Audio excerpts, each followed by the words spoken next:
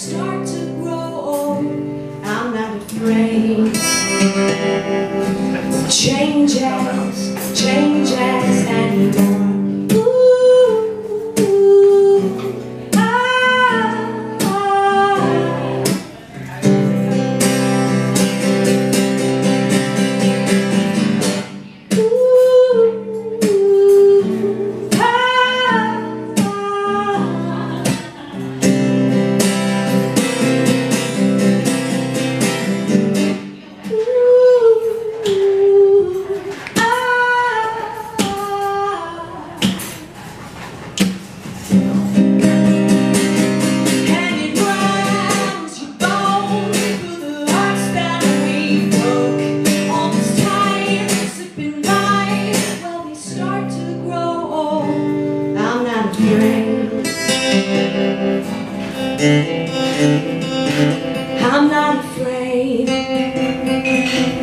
of changes, changes anymore.